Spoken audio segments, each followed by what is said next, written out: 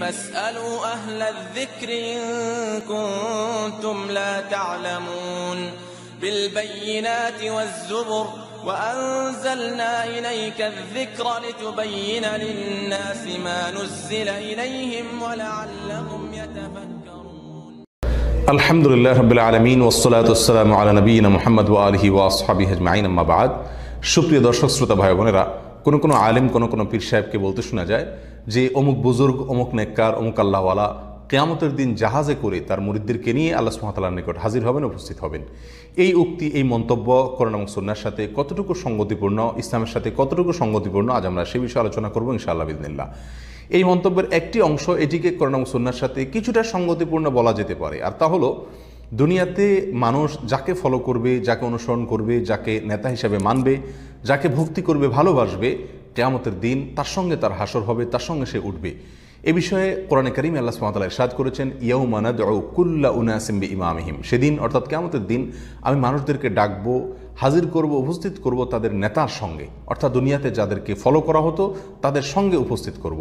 রসুল্লাহ সাল্লাহ সাল্লাম বলেছেন সৈবুখার রেখা দিছে আলমার ও মা আমান আহাব, মানুষ দুনিয়াতে যাকে ভালোবাসত, যাকে ভক্তি করতো, তার সঙ্গে সে উঠবে, তার সঙ্গে তার হাসর হবে, তার সঙ্গে কেয়ামতের ময়দানে সে হাজির হবে, উপস্থিত হবে আল্লাহ সুমাতার নিকটে। অতএব মৌলিকভাবে এ কথা ঠিক আছে যে দুনিয়াতে মানুষ যাকে অনুসরণ করবে ফলো করবে, ভক্তি করবে, কেয়ামতের দিন তার সঙ্গে সে উঠবে, তার সঙ্গে তার হাসর হবে। কিন্তু ওলামায়করামের একটা স্বীকৃত মূলনীতি হলো, কোরআন এবং সুন্নার সাধারণ কোনো কথাকে, সাধারণ কোনো উক্তিকে নির্দিষ্ট কোনো জায়গায় ফিট করা বা সেট করা, এটা সঠিক নয়, এটা সমীচীন নয়। যার কারণে কোনো নির্দিষ্ট আলেম, নির্দিষ্ট কোনো বুজুর্গ বা নির্দিষ্ট কোনো নেককার সম্পর্কে এরকম মন্তব্য করা সমীচীন নয় যে তার সঙ্গে তার মুরিদরা উপস্থিত হবেন। হ্যাঁ মৌলিকভাবে কথাটি ঠিক আছে, সেটা ভিন্ন বিষয়। আর মন্তব্যের অপর অংশ, অর্থাৎ জাহাজে করে মুরিদদেরকে নিয়ে, অনুসারীদেরকে নিয়ে তারা উপস্থিত হবেন, এটি কোরআন এবং সুন্নার সাথে কোনোভাবেই সঙ্গতিপূর্ণ নয়, বরং এটি অত্যন্ত আপত্তিকর এবং জঘন্য একটি মন্তব্য। তার কয়েকটি কারণ রয়েছে। নাম্বার এক আখরাতের বিষয়টি সম্পূর্ণ তাওকেইফি সেখানে কি হবে, না হবে, পরিস্থিতি কেমন হবে, না হবে, কি থাকবে, না থাকবে, এটি শুধুমাত্র আল্লাহ সুমাতালাই ভালো জানেন। অতএব এ বিষয়ে কোরআন এবং সুন্না যদি কোনো বিষয় বলে থাকে, কোনো কথা বলে থাকে, কোনো উক্তি বলে থাকে, সেটাই শুধুমাত্র একজন মমিন, একজন আলেম কোট করবেন, ধারণা করে অথবা নিজে গবেষণা করে কোনো মন্তব্য করা এই প্রসঙ্গে কোনো মুসলমানের জন্য জায়েজ নেই। আর আমরা কোরআন সুন্নার কোনো জায়গায় খুঁজে পাই না যে আখরাতে জাহাজের কোনো প্রচলন থাকবে বা জাহাজ নিয়ে বা কোনো বাহন নিয়ে কেউ উপস্থিত হতে পারবে। অতএব এই মন্তব্য সম্পূর্ণ মন গড়া সম্পূর্ণ বানোয়াট এবং ভিত্তিহীন। আখরাতের প্রতি ইমান এটা ইমানের গুরুত্বপূর্ণ একটি পয়েন্ট আর ইমানের এই গুরুত্বপূর্ণ পয়েন্ট সম্পর্কে মন গড়া ভিত্তিহীন বা ভুয়া কোনো বক্তব্য দেওয়া, ভুয়া কোনো ধারণা পোষণ করা বা সেটাকে প্রচার করা, এটা কোনো আলেমের জন্য, কোনো মমিনের জন্য এটা শোভনীয় হতে পারে না। দ্বিতীয় কারণ হলো, কেয়ামত এমন কোনো ময়দান, এমন কোনো মাঠে প্রতিষ্ঠিত হবে না যে মাঠটি আজকের কোনো নদীর পাড়ে অনুষ্ঠিত মাহফিলের মাঠের মতো, মাহফিলের ময়দানের মতো, যে সেখানে জাহাজ নিয়ে কোনো বুজুর্গ বা কোনো নেককার উপস্থিত হবেন, এরকম কোনো মন্তব্য আমরা করে দিলাম। এ প্রসঙ্গে আল্লাহ সুমাতালা বলেছেন ইয়াউমা তুবাদ্দালুল আর্দ গায়রাল আরদি ওয়াস সামাওয়াত আজকে পৃথিবীর যে ধরন আছে, আজকের পৃথিবীর যে আকৃতি এবং প্রকৃতি রয়েছে, সেদিন তা থাকবে না, সম্পূর্ণ পরিবর্তিত হয়ে যাবে। রসুল্লাহ সাল্লাহ সাল্লাম বলেছেন সৈবুখার এবং মুসলিম রেখা দিছে কেয়ামতের ময়দান কায়েম হবে, মানুষকে একত্রিত করা হবে হাসল করা হবে, এমন একটি জমিনের উপরে, যে জমিনটি হবে আর্দ আফরা, আর্দ বাইদা, যেটি সম্পূর্ণ সাদা মরুভূমির মতো জমিন হবে। সেখানে কোনো পানি থাকবে অথবা জাহাজ বেড়ার সুযোগ থাকবে, এরকম ধারণা শুধুমাত্র কল্পনাতেই সম্ভব, বাস্তবে এরকম কোনো কথা বলা, কোনো মমিনের জন্য শোভনীয় নয় কোন মুসলিমের সাথে এটি সম্পূর্ণ সাংঘর্ষিক একটি মন্তব্য এবং মন গড়া এবং ধারণা প্রসূত একটি বক্তব্য শুধুমাত্র।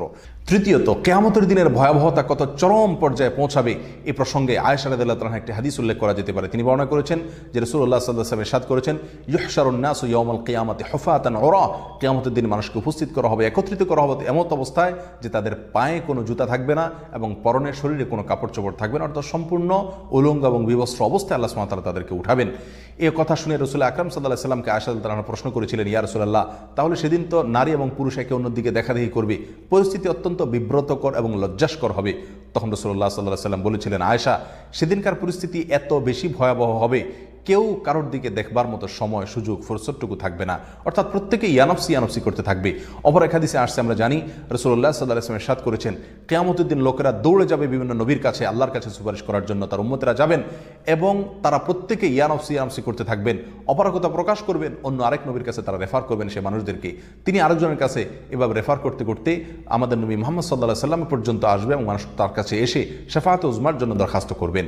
অতএব এই সমস্ত হাদিস থেকে মোটামুটি পরিষ্কার হয়ে যায় যায় কেয়ামতের ভয়াবহতা এরকম পর্যায়ে পৌঁছাবে যে নবীগণ পর্যন্ত তাদের নিজেদেরকে নিয়ে ব্যস্ত থাকবেন উম্মদদেরকে সুযোগ দিবেন না, তাদেরকে সাইড দিবেন না। সেখানে কোনো বুজুর্গ, কোনো নেককার, কোনো আল্লাহওয়ালা মানুষ তিনি শোডাউন করবেন জাহাজ নিয়ে, তার মুরিদদেরকে নিয়ে। এ ধরনের মন্তব্য কোনো মুসলমানের জন্য কোনোভাবেই করা উচিত নয়, বরং এটি কোরআন সুন্নার সাথে সম্পূর্ণ সাংঘর্ষিক একটি মন্তব্য। এ ধরনের মন্তব্য থেকে আমরা বিরত থাকি। আল্লাহ সুমত আমাদের সবাইকে হেদায়ত নসিব করুন, আল্লাহ তালা আমাদেরকে ক্ষমা করুন। এ ধরনের মন্তব্য করা নবীর ব্যাপারে, নবীর নামে মিথ্যাচার করার সামিল, কারণ আখরাতে কোনো কিছু ঘটবে এরকম বলা, এটা কেমন যেন আল্লাহ এবং তার রসুলের ব্যাপারে মিথ্যাচারই করা। আর নবী আলাইসাল্লাম বলেছেন, মান কাদাবা আলিয়া মতো আমেদান ফালিয়াদা বাবু আমার কাদ না যে আমাকে নিয়ে মিথ্যাচার করল, আমার ব্যাপারে কোনো মিথ্যা মন্তব্য করল সেই জন্য তার ঠিকানা জাহান নামে জেনে রাখে